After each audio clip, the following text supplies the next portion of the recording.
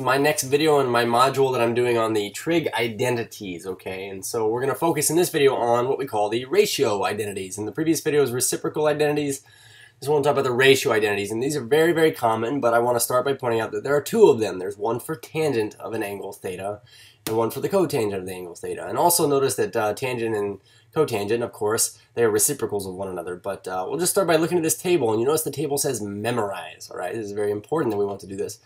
But it is always the case that if we take the tangent of an angle, you'll get the same answer as if you took the sine of the same angle over the cosine of the same angle. Okay, and so what this basically says is, look, if you knew, say, sine and you knew cosine, you could find tangent. Or likewise, you know, you notice the difference between tangent and cotangent here is that we have cosine over sine. They're reciprocals of one another. Uh, but if we knew cosine and we took that uh, cosine of an angle and divided by the sine of an angle, we get the same thing as the cotangent. I would say for the most part, everybody just kind of needs to memorize this tangent one right here.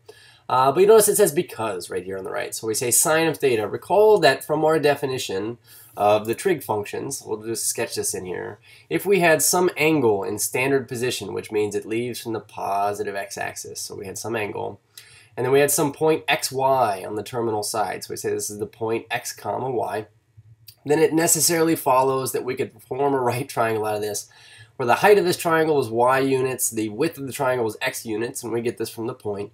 We've been calling the hypotenuse r, where this is our angle theta.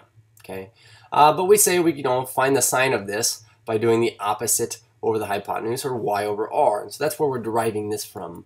Uh, and also we say, okay, well, over the cosine of theta, cosine of theta would be the adjacent over the hypotenuse here. Uh, but adjacent over hypotenuse would be length x over r, okay, and that would be this x over r here. What I would like to point out, uh, however, is this. We say y over r divided by x over r, you know.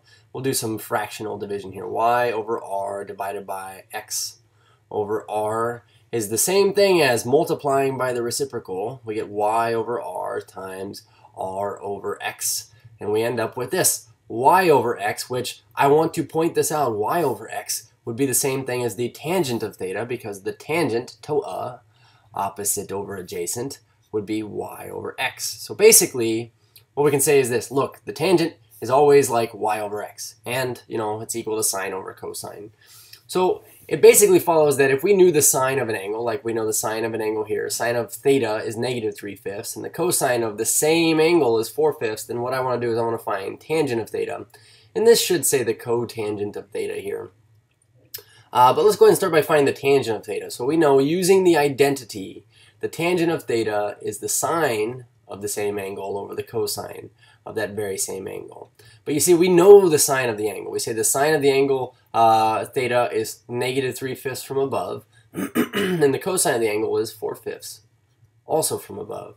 And since we know this, we can just instead change this to multiplying by the reciprocal. So negative 3 fifths times, let's see, reciprocal of 4 fifths is 5 fourths. And we end up with our 5's canceling out, and we get 1's. But we say on top we get negative 3 times 1 is negative 3, and on bottom we get 1 times 4 is our 4.